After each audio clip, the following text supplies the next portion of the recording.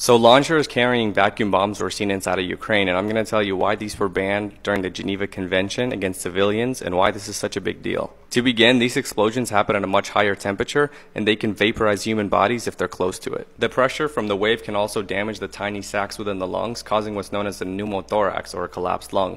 And these are called vacuum bombs because when the explosion goes off, all the air around that device is sucked in, so anybody around it is unable to breathe and then dies from suffocation.